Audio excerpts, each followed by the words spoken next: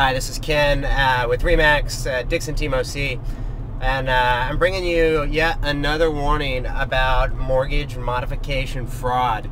I was doing my expired calls this morning talking to people whose homes had been on the market but then didn't sell, and I talked to this great lady in Huntington Beach who had been trying to do a loan modification and had done all her homework, checked out the broker who ran the company, called the DRE, verified that he was a broker in good standing uh, and the guy collected $3,000 from her up front. Now I'm just going to call it out. The name of that company was American Home Modification out of Car, um, yeah, out of Corona.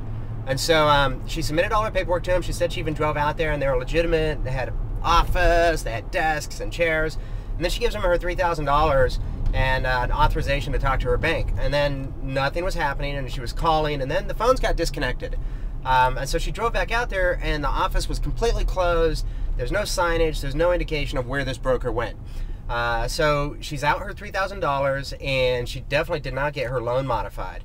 And so um, she contacted the DRE, and the good news is there's a great uh, real estate attorney who's helping her, who did let her know she can file a small claims uh, case against him for the 3000 and if she wins that, even if he doesn't show up, she can submit that to the DRE uh, and the California Department of Real Estate has a fund for situations just like that. So she may eventually get some money out of it, but buyer beware. Do your homework. You want a track record of whose loans they've modified, how many they've modified, and you definitely don't want to pay any money up front.